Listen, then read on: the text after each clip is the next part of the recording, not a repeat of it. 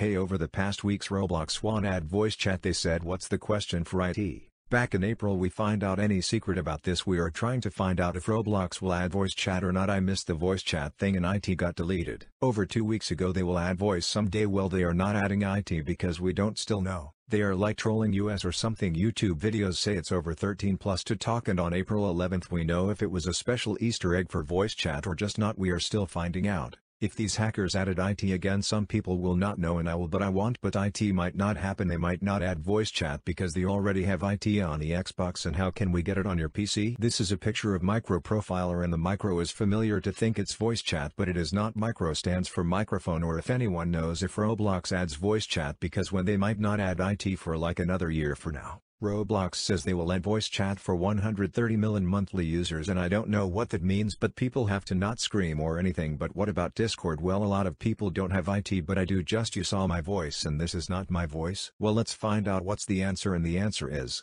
No well I think because they are not adding it for like a month and I don't know what they are doing but that's the end of the video. I will say if they will add it because they already have it on some stuff.